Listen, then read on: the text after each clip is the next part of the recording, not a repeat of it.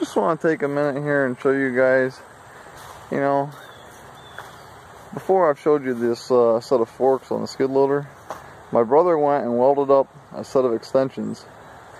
When he bought one of the buckets he had, there was a set of forks that came with it, I believe, that uh, clipped on in a way that they were just a short fork. It was only from here to like it, it, this fork here was an original fork and it come over and had been up in the air.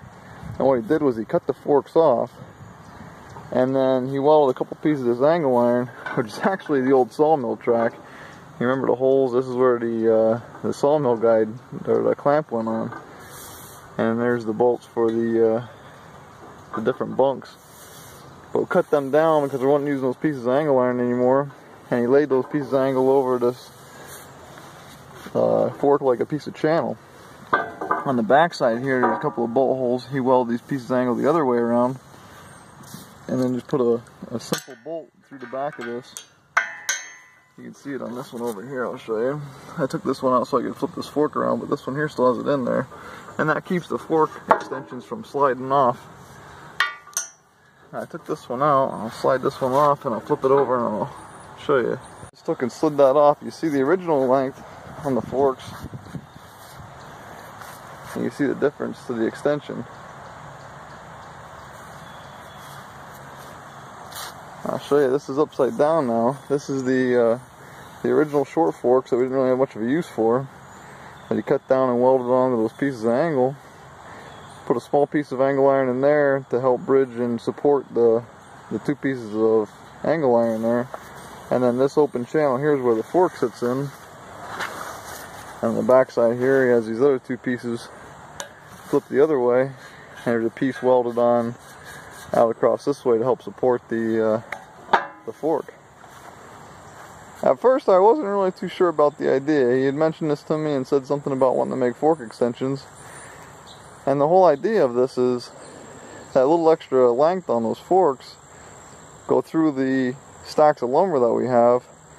And we're having trouble going all the way through the stacks of lumber. And you go about you know, three quarter of the way through the stack, and then the boards on the far side want to tip and fall.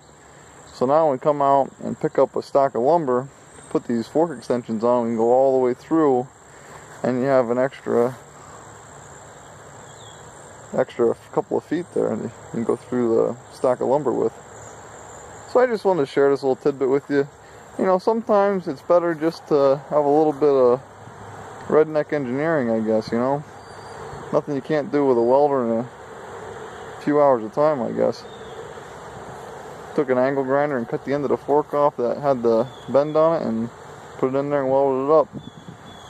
I'll show you a video here. I get a take a load of 4x4s off my truck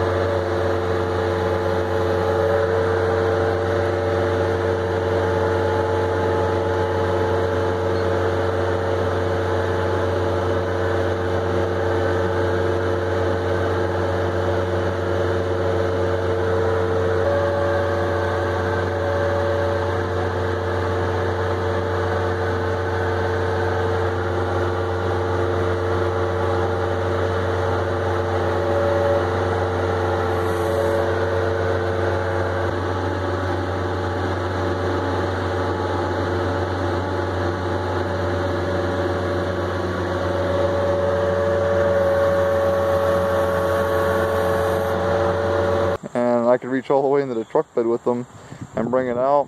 And it takes the weight. You know, I put them to the test already a couple times and didn't bend yet. So I don't know how much weight I'd want to put all the way out here and have, you know, the end of the fork is right here. look up underneath here a little bit maybe.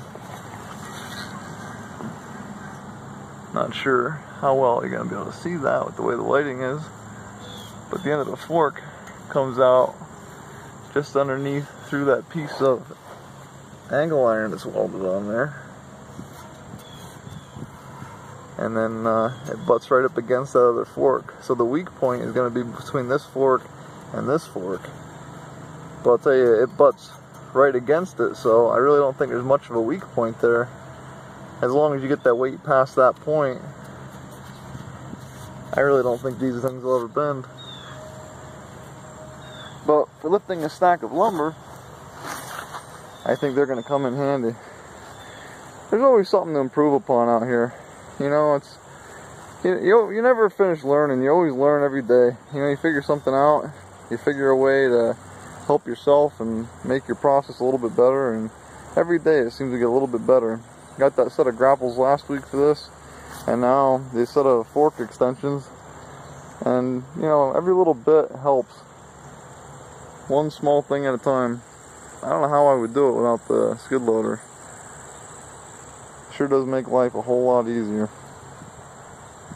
Well, that's about all I got for today. I just wanted to uh, share the little improvements we're making along our way. Thanks for watching, and until next time, I'll see you guys.